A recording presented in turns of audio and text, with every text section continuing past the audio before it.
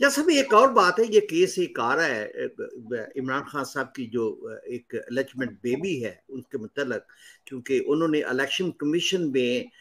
जो असासे या जो भी इंफॉर्मेशन जो उनको रिक्वायर होती है, उसमें उसका ज़िक्र नहीं किया था। और this is seems to be is against law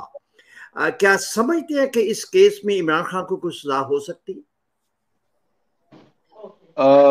sir देखें मैं खबर साहब देखें इसमें बुनियादी चीज़ ये जहन में रखें कि इमरान खान साहब के हवाले से जितने भी केसेस मुख्तलिफ़ फॉरम्स पे हैं